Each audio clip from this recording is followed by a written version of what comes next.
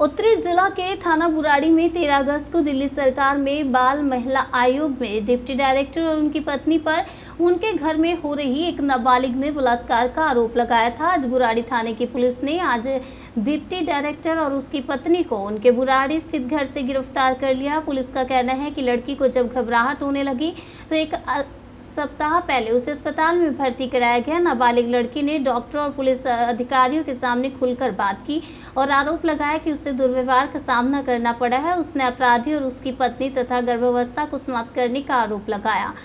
Medico legal जाँच की गई है।